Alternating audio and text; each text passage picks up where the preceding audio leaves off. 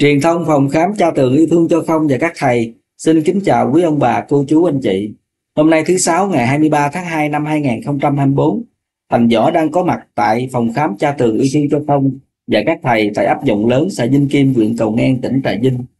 Sáng hôm nay, nhà thầu đã triển khai thi công mái che sân trước phòng khám, tổng diện tích khoảng 200 m2, kết cấu khung sắt mái tôn theo quy cách nhà tiền chế để tạo điều kiện phục vụ cho bệnh nhân đến phòng khám để được hỗ trợ điều trị ung thư. Công trình do gia đình cô Lê Lan tài trợ. Thành Võ xin thay mặt các thầy chân thành cảm ơn tấm lòng bác ái của gia đình cô Lê Lan. Chúc gia đình cô luôn được Đức Chúa ban hồng ân và bình an trong cuộc sống. Song song đó, công trình lợp mái che đường vào khu vực vệ sinh của phòng khám cũng được đơn vị thi công triển khai sau đó. Công trình có diện tích khoảng 150 m vuông cũng thi công theo kết cấu khung sắt mái tôn. Công trình do gia đình cô Lượng Phạm tài trợ. Trước đó, nhà thầu cũng đã thi công bê tông lối đi vào khu vực nhà vệ sinh thêm khang trang, cũng là do gia đình cô Lượng Phạm tài trợ. Thành Võ thay mặt các thầy tại phòng khám, xin chân thành cảm ơn gia đình cô Lượng Phạm cùng các bệnh nhân và người nuôi tại phòng khám. Kính thưa quý ông bà, cô chú, anh chị, hôm nay Thành Võ có dịp gặp gỡ trao đổi với bệnh nhân Nguyễn Thị Hà ở Bình Dương. Bệnh nhân bị ca hạch di căn, lúc đầu đến phòng khám cha tường yêu thương cho công để hỗ trợ điều trị ung thư trong tình trạng không có tóc, mặt mày, tay chân, thân hình, sưng, rất khó nhìn, đi lại khó khăn. Cơ thể biểu hiện đau khắp thân mình, rất khó chịu. Tuy nhiên sau 2 tháng được các thầy phòng khám cha tường yêu thương cho không và các thầy tại ấp dòng lớn xã Vinh Kim, huyện Cầu Ngang, tỉnh Trà Vinh hỗ trợ điều trị bệnh ung thư. Bệnh nhân Nguyễn Thị Hà đã thoát khỏi cửa tử và vui mừng tâm sự. Em là Nguyễn Thị Hà, năm nay là 51 tuổi đến từ à, thủ đô một Bình Dương. À, qua 2 tháng điều trị bệnh tại phòng khám thì à, thấy căn bệnh như thế nào? Qua 2 tháng điều trị ở bệnh khám thì đi à, xét nghiệm máu thì về thầy Thanh nói là máu huyết ổn định rồi à, nữa là ăn ngủ được rồi có sức khỏe. Rồi các thầy ở đây cũng nhiệt tình chăm sóc bệnh nhân rồi cô Mai chăm cứu cũng nhiệt tình. Cho nên là bệnh tình bây giờ nó cũng thuyên giảm nhiều. Có thể nói rõ hơn là những cái uh, chi tiết đó.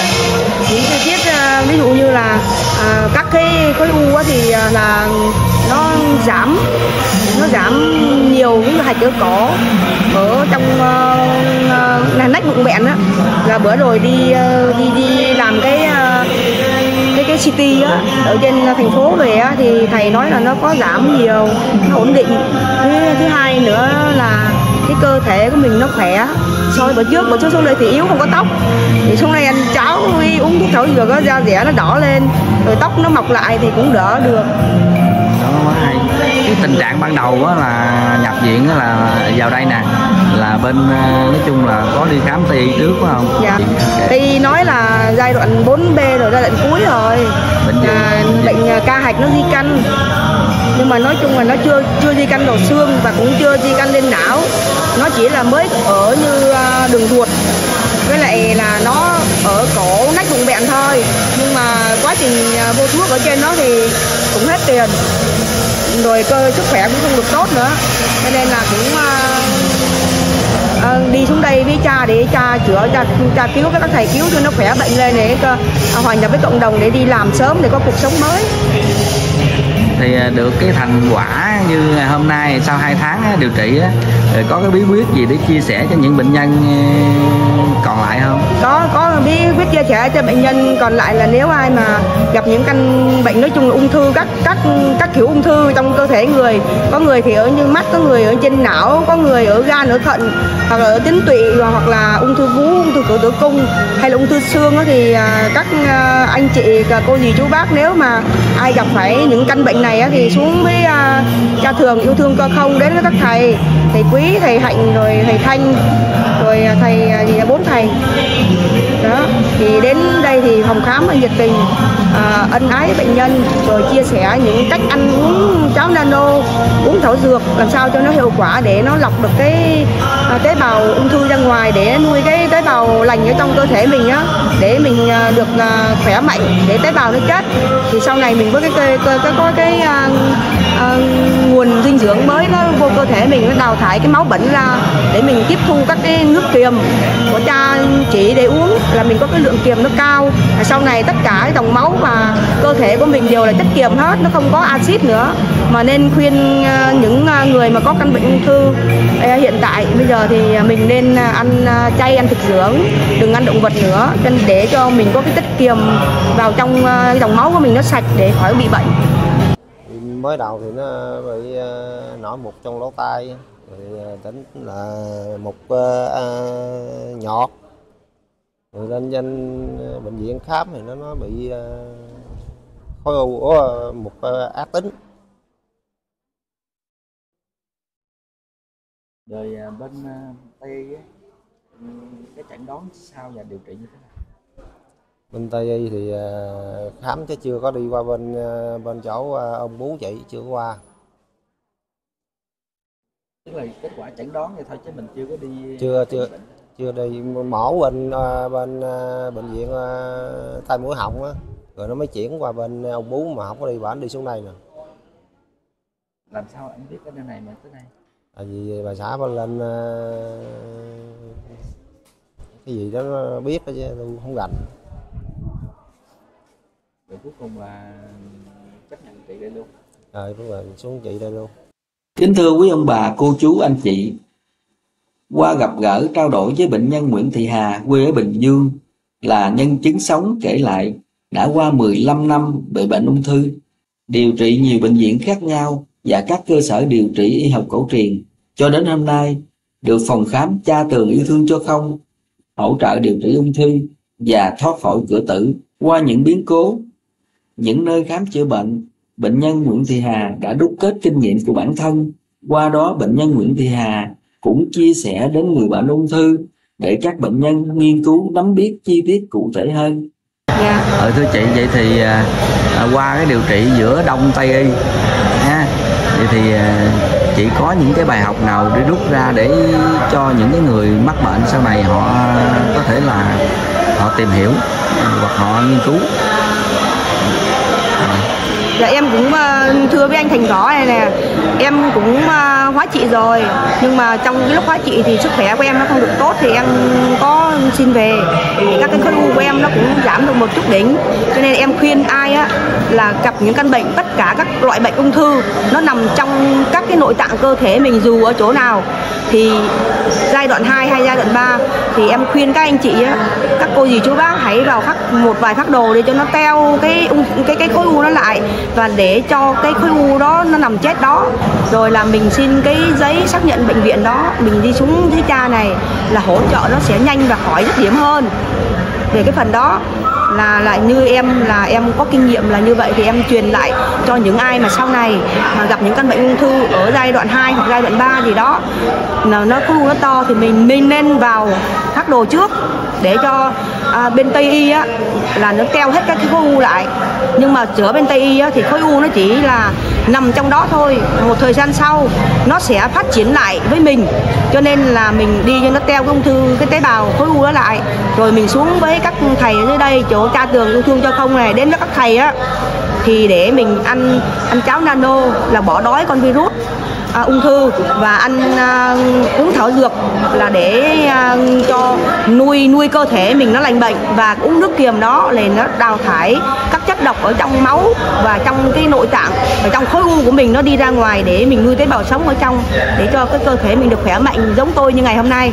Để xuống các cha này bây giờ tôi cũng là khỏe mạnh và ăn uống trở lại bình thường sức khỏe tôi rất tốt. Và da rẻ hồng hào không sụt ký không sụt cân tay chân vẫn khỏe mạnh nè. Đấy, không sao hết. Nên là khuyên quý à, anh chị cô bác là sau này mà có như vậy thì mình nên đi hóa trị đi rồi mình xuống đây là cái kết quả nó điều trị à, kết hợp đông tây y là nó phát đồ nó khỏe nó sẽ nhanh hơn.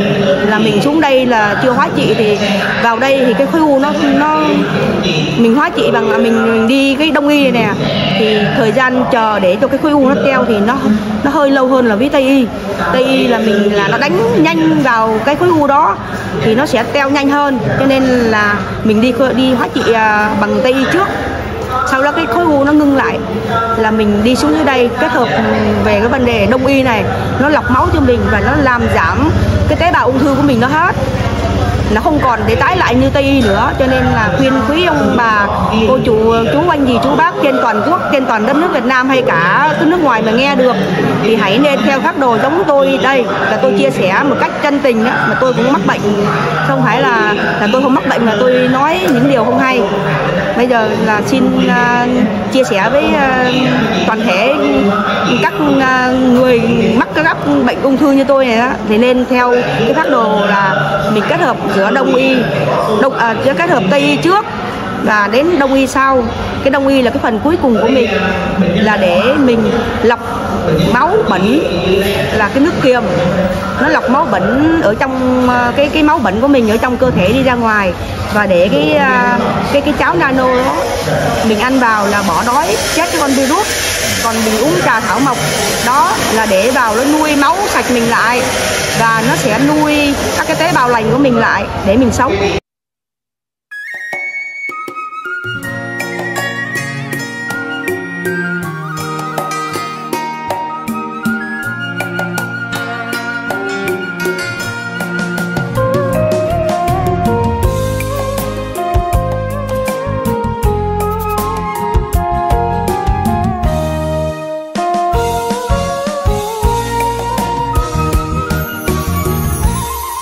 Chúng con ở khắp muôn nơi, mang căn bệnh trong người căn bệnh ung thư cha ơi.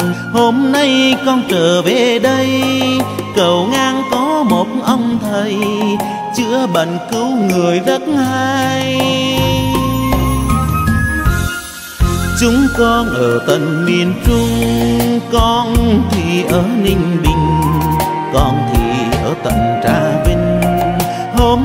được đến bên cha.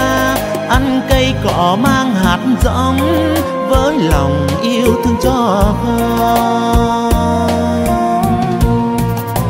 Ăn cháo nano uống trà thảo dược vậy mà người ơi, xóa tan khối u ác tính xoa dịu nỗi đau người bệnh mang lại hạnh phúc khắp nơi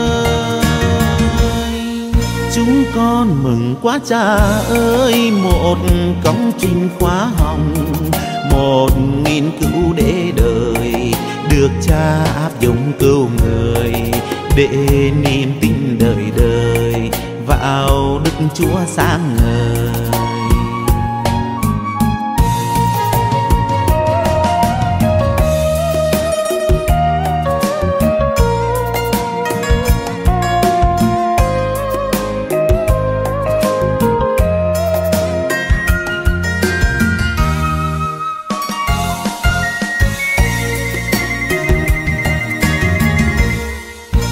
Con ở tận miền trung. Con thì ở ninh bình, con thì ở tận trà vinh. Hôm nay được đến bên cha, ăn cây cỏ mang hạt giống, với lòng yêu thương cho con. Ăn cháo nà nó uống trà thảo dược vậy mà người ơi xóa tan khối u ác tính xoa dịu nỗi đau người bệnh mang lại hạnh phúc khắp nơi.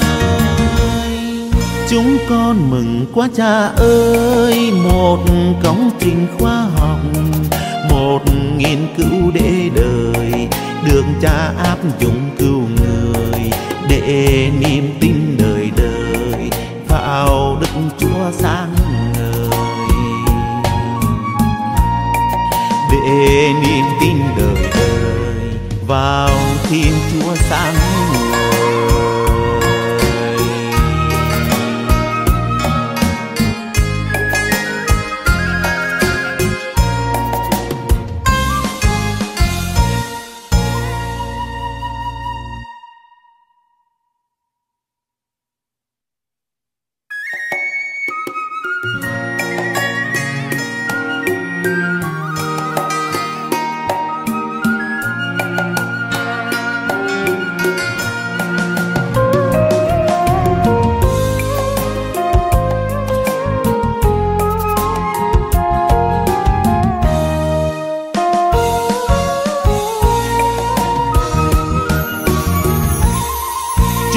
con ở khắp muôn nơi, mang căn bệnh trong người. Căn bệnh ung thư cha ơi. Hôm nay con trở về đây, cầu ngang có một ông thầy. Chữa bệnh cứu người rất hay. Chúng con ở tận miền trung, con thì ở ninh bình, con thì ở tận trà vinh được đến bên cha, ăn cây cỏ mang hạt giống, với lòng yêu thương cho con. Ăn cháo nano uống trà thao dừa vậy mà người ơi, xóa tan khối u ác tính xoa dịu nỗi đau người bần, mang lại hạnh phúc khắp nơi chúng con mừng quá cha ơi, một công trình khóa hồng, một nghiên cứu để đời được cha áp dụng cứu người để niềm tin đời đời vào đức chúa sáng ngời.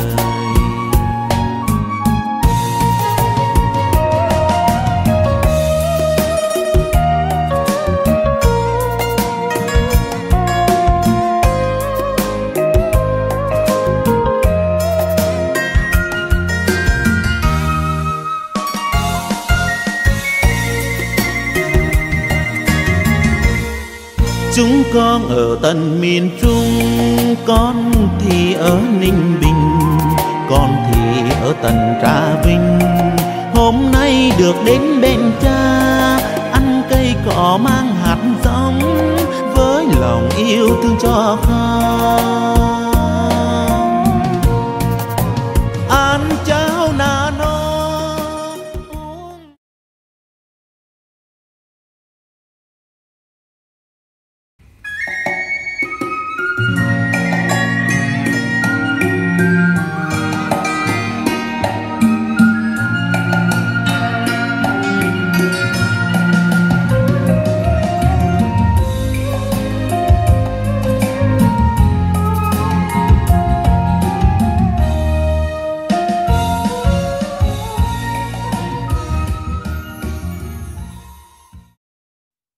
Truyền thông Thành Võ xin kính chào quý ông bà, cô bác, anh chị và các bạn.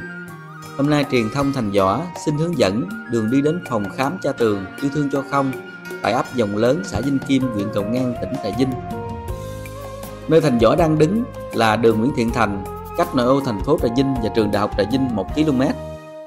Thành Võ chuẩn bị di chuyển vào quốc lộ 53 hướng đi cầu ngang Duyên Hải.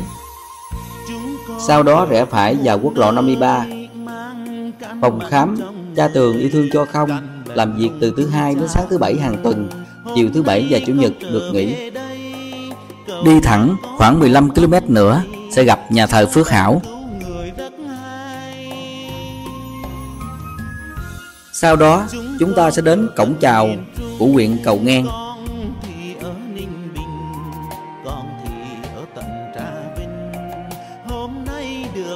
Đi khoảng 5 km nữa, chúng ta sẽ gặp nhà thờ Vinh Kim. Đi tiếp khoảng 1 km, chúng ta sẽ gặp biển báo phía tay phải là biển báo nhà thờ Dòng Lớn.